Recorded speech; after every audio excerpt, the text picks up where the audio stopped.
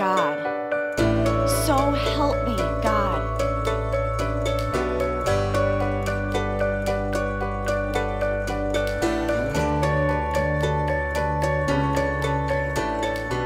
I have heard the groaning of my people. I've seen their misery. I am concerned, and I've come to rescue them.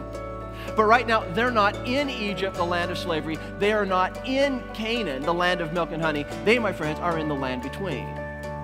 The land between is not only fertile ground for complaint, it is fertile ground for meltdown.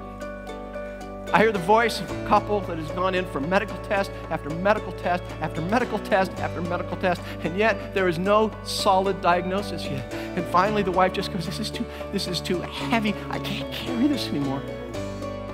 And what if when we're worn out and beat up and we open our hands and we say, I can't carry this anymore? What if our gracious God says, Keep your hands open, let me provide? I just ask you again, what if He's good?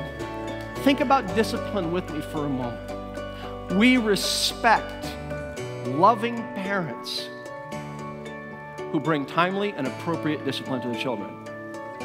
Now, that doesn't contradict their love. That's part of their love. You know, what, you know what discipline is? It's inflicting pain for redemptive purposes.